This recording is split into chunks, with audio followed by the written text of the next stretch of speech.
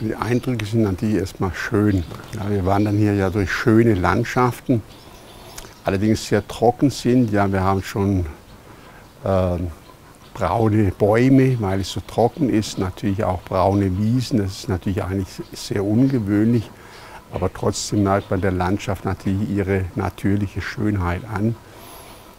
Und es macht einfach Freude, nicht äh, durch die vielfältigen Landschaften, die wir in Baden-Württemberg haben, zu wandern und sie zu genießen.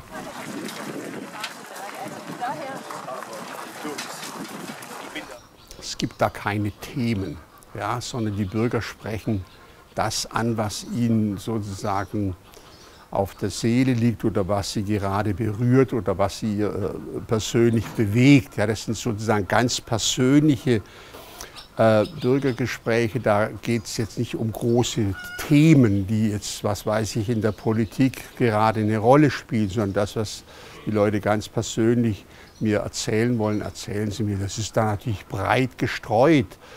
Äh, da geht es von der dualen Ausbildung über Windkraft, Mountainbiker, äh, da fehlt sozusagen wirklich nichts, ja, geht quer durch den politischen Gemüsegarten. Ja.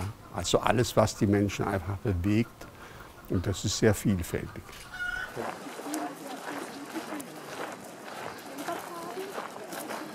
Ja, jedenfalls nehme ich Ihre Anliegen auf nicht? und die werden ja, bearbeitet. Äh, Beamten befassen sich damit und die Menschen bekommen selbstverständlich eine Rückmeldung äh, von mir, es sind natürlich auch welche dabei gewesen, die wollen mich nur loben und äh, den kann ich, bei denen bedanke ich mich dann spontan. Ja.